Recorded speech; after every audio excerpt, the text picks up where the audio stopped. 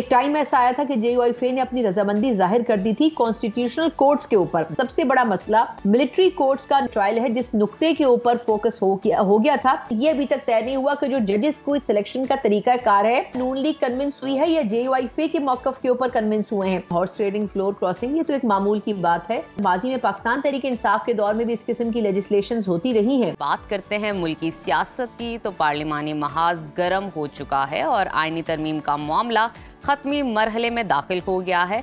अदालती असलाहत पर मुस्लिम लीग नून, पीपल्स पार्टी और जे यू आई एफ़ में इतफाक होगा। लेकिन लेकिन जराए के हवाले से ये खबरें आ रही हैं कि इतिहादी हुकूमत आइनी अदालतें बनाने से पीछे हट गई है। और अब ये कहा जा रहा है, ये सुनाई दे रहा है कि आइनी अदालतों की बजाय आइनी बेंच बनेगा। कुछ खबरें ये भी हैं कि आइनी बेंच नहीं, बल्कि सुप्रीम कोर्ट आइनी डिवीज़न बनेगा। जिसमें सुप्रीम कोर्ट के पाँच या फिर नौ जजेस को शामिल किया जाएगा। आईनी बेंच की तश्कील जुडिशल कमीशन करेगा और आईनी बेंच का सरबरा भी जुडिशल कमीशन ही मुकर करेगा, जबकि आईनी बेंच में रद्दोबदल का इख्तियार चीफ जस्टिस सुप्रीम कोर्ट को हासिल नहीं होगा। लीगी सेनेटर इरफान सदीकी ये कहते हैं कि आईनी तरमीम आज सेनेट में पेश कर देंगे। तो देखना यह है कि क्या आज ये तरमीम सेनेट में पेश हो पाएगी या नहीं। और इसके साथ आपको ये भी बताते हैं कि तहरीक इंसाफ के चेयरमैन बैरिस्टर गोहर ने दावा किया है कि हुकूमत के नंबर पूरे नहीं हैं। सात हुकूमती अरकान तरमीम के हक में वोट नहीं देंगे जबकि उमर अयूब ने इल्ज़ाम लगाया है कि पी टी आई के एम एन एज को एक एक अरब रुपए की पेशकश हो रही है और सैनिटर्स को भी ऑफर्स की जा रही हैं। बानी पी टी आई की रिहाई और आइनी तरमीम के खिलाफ आज फिर तहरीक इंसाफ मुल्क भर में एहतजाज करने जा रही है। इसी तमाम तर सूरत हाल पर बात करने के लिए हमें ज्वाइन किया है सीनियर तजिया कार सना मिर्ज़ा साहिबा ने। वेलकम टू सुना पाकिस्तान सना, सबसे पहले ये बताइएगा कि खबरें आ रही हैं कि हुकूमत आइनी अदालतों के क्याम से पीछे हट गई है और अब आइनी बेंच, आइनी डिवीज़न, ये बास्केट सुनाई दे रही है। आखिर इसकी वजह क्या है?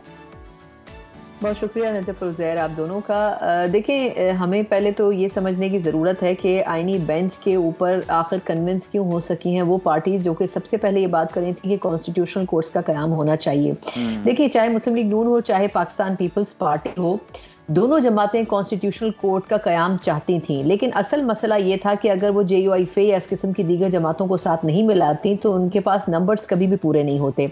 जब पिछले कुछ हफ्तों पहले हमने देखा था कि एक माहौल बना था और गवर्नमेंट ने जॉइंट सेशन बुलाया था और इतवार के रोज बड़ी उजलत में वो कानून पास करवाना चाहते थे उस वक्त तलाक ये थी कि मौलाना साहब को ये मैसेज कन्वे हुआ इनडायरेक्टली कि मौलाना साहब से जब मुस्लिम लीग नून के रुफका मुलाकात करके गए तो उसके बाद बाहर ये खबरें गर्दिश करने लगी कि मौलाना साहब को तो एक फ़ोन जो है उससे भी मौलाना साहब अपना इरादा बदल देते हैं और बहुत से लोगों हम्म। की ये राय है कि उस गुफ्तु और उस स्टेटमेंट को जो कि इनडायरेक्टली हल्कों में गुफ्तु हो रही थी उनके हवाले से उनकी जमात के हवाले से उन्होंने इसको बड़ा माइंड किया और उसके बाद उन्होंने एक बड़ा यू टर्न लिया और उन्होंने कहा कि नहीं हुकूमत से किसी तौर भी मुजाकरात कामयाब नहीं होंगे। वो जो लोग कह रहे हैं कि शुरू से ही जे वाई फे नहीं मान रही थी ऐसा नहीं है।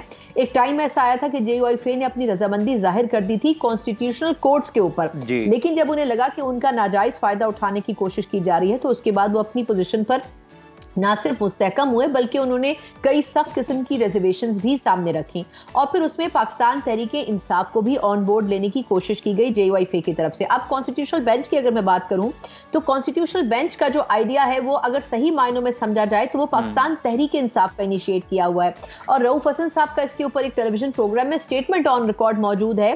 कि ये जो आइनी तरामीम है ये तो हमारी तरफ़ से इनिशिएट किया गया था आइडिया कि ऐसी तरामीम होनी चाहिए। ये अलग बात है कि वो पूरी आइनी तरामीम को इंडोर्स कर रहे हैं लेकिन कम अज कम कॉन्स्टिट्यूशनल बेंच होना चाहिए कोर्ट्स के मुकाबले में। ये आइडिया पाकिस्तान तरीके इंसाफ ने जनरेट किया था जिसको जे फे ने अडॉप्ट किया।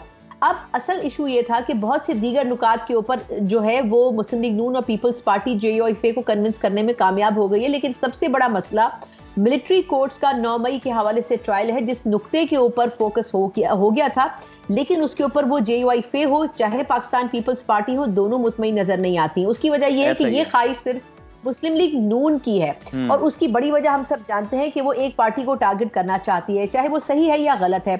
लेकिन अगर पीपल्स पार्टी या जे वाई फे का मौकफ समझें तो वो ये समझते हैं कि अगर आज हम एक जमात के साथ ऐसा करेंगे ये सियासी जमात और सियासी लीडरान को सना सना इस बारे में तो बिलावल भुट्टो ये कह चुके हैं कि मैं मौलाना को ज़ुबान दे चुका हूँ अब मैं पीछे नहीं हटूँगा इससे।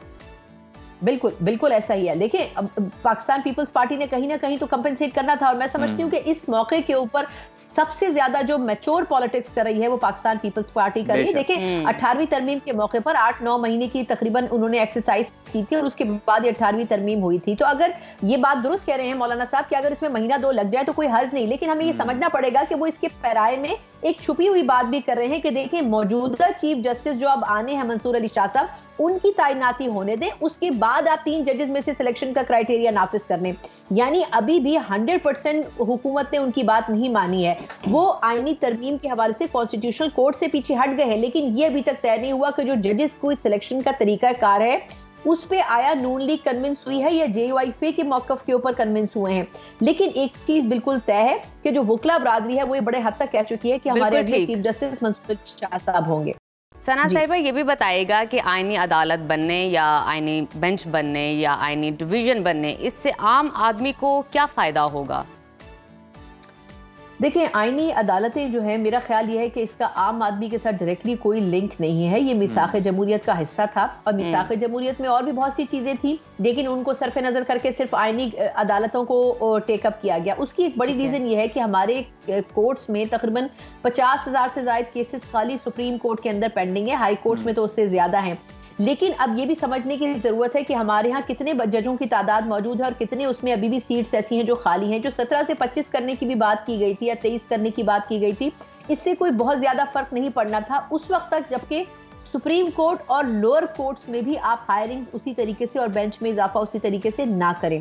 दूसरी बात यह है कि जब इस किस्म के आईनी मामला आते हैं तो अब अगर मैं इस अमेंडमेंट के कंटेक्स में कहूँ तो इसमें एक बड़ी चीज़ ये करने जा रहे हैं जो कि अभी तक वाजे नहीं है लेकिन इसके ऊपर अफवाहों की बुनियाद के ऊपर गुफ्तु हो रही है मुबहम अंदाज में कि अगर तो इस किस्म के फैसले आएँगे तो उनको आप सुपरसीड नहीं कर सकेंगे। हम्म। यानी अगर आईनी जो बेंच है वो अगर कोई डिसीज़न देगा किसी फैसले किसी केस के हवाले से तो सुप्रीम कोर्ट में उसके लिए आप रिव्यू में नहीं जा सकेंगे। तो आई थिंक बहुत सारी चीज़ें हैं जो कि अभी ठीक है सना साहिबा ये भी ये भी यहाँ बता दीजिएगा कि सेनेटर इरफान सदीकी साहब बड़े पुरज़म दिखाई देते हैं, बड़े यकीन से वो ये कह रहे हैं कि आनी तरमीम आज हम सेनेट में पेश करेंगे। आपको लगता है कि तरमीम की मंजूरी के लिए हुकूमत चौंसठ अरकान पूरे कर सकेगी? देखिए इरफान सदीकी साहब वैसे तो बहुत सारी चीज़ें जो हैं वो वक्त से पहले डिस्क्लोज कर देते हैं और उन्होंने ये भी डिस्क्लोज कर दिया है लेकिन ये ज़रूर तय है कि ये पार्लियामेंट से पहले सेनेट से इसको पास करवाएँगे क्योंकि सेनेट में उनकी पोजीशन कदरे मुस्तकम है हम्म। लेकिन उसमें ये वाजे हो जाएगा अगर तो ये पास करवाने में कामयाब हो जाते हैं जो कि बाहिर ये लग रहा है कि अभी तक इनके पास तीन से चार के करीब नंबर जो हैं वो कम है अगर तो ये पूरे हो जाते हैं तो फिर पार्लियामेंट से भी ये तरमीम पास हो सकती है जो कि मुमकिन तौर पर शायद इतवार के रोज तक हो सकती हो। क्योंकि अगर इन्होंने ये वीकेंड ज़ाया कर दिया तो इसके बाद बड़ा मुश्किल होगा। टाइम बहुत इनके पास महदूद है नए चीफ जस्टिस की तैनाती से पहले। अगर फायद साहब नहीं भी बन रहे या उनको एक्सटेंड नहीं किया जा रहा तो कम अज कम मंसूर अली शाह साहब को बनाने में कोई बहुत ज़्यादा नून लीग इंटरेस्टेड नहीं है। अदरवाइज़ पीपल्स पार्टी को कोई एतराज़ नहीं है उनके चीफ जस्टिस बनने पे। बिल्कुल तो सना साहिबा कि अगर सना साहिबा, अगर हम दूसरी जानब देखें तो पीटीआई इल्ज़ाम लगा रही है कि हुकूमत के नंबर्स पूरे नहीं हैं। एम एन एज़ को एक एक अरब रुपए की ऑफ़र्स की जा रही है, वजारतों की ऑफ़र्स की जा रही है। तो इन इल्ज़ाम में कितनी हकीकत है? देखिए अगर तो आप पुरानी तरमीम का हवाला दे दें अभी वोट ऑफ़ कॉन्फिडेंस की बात कर लें नो हम्म। कॉन्फिडेंस की बात कर लें मेरा ख्याल है कि जब भी कभी पार्लियामेंट को इस किस्म के इश्यूज़ के लिए इस्तेमाल किया गया है तो उसमें हॉर्स ट्रेडिंग फ्लोर क्रॉसिंग ये तो एक मामूल की बात है हम्म। और इसकी पाकिस्तानी सियासत को भी आदत हो गई है हम्म। जहाँ तक पाकिस्तान तहरीक इंसाफ ये क्लेम कर रही है तो अगर माजी में पाकिस्तान तहरीक इंसाफ के दौर में भी इस किस्म की लेजिस्लेशन होती रही है तो उसमें क्या ऐसा नहीं हुआ शो ऑफ़ हैंड जब नहीं किए जाते थे जब खुफिया बैलेटिंग होती थी खुफिया रायशुमारी होती थी तो उसमें भी इसी तरह होता था।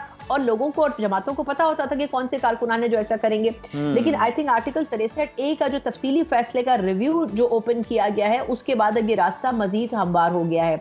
और अब देखना ये होगा कि पाकिस्तान तरीके इंसाफ जो दावा कर रही है अगर वो दुरुस्त भी साबित हो तो अगर आप अंदरून पाकिस्तान तरीके इंसाफ बात करें तो वो ये कह रहे हैं कि उनके वो तमाम लोग जिनके साथ इस वक्त की मुश्किल पेश आ रही हैं कि फैमिली के मेंबर्स गायब हैं लोग उठा लिए गए हैं उसके बावजूद भी वो अपनी पोजिशन पर फर्म खड़े हैं कि हम कभी भी पीटीआई के वोट नहीं देंगे।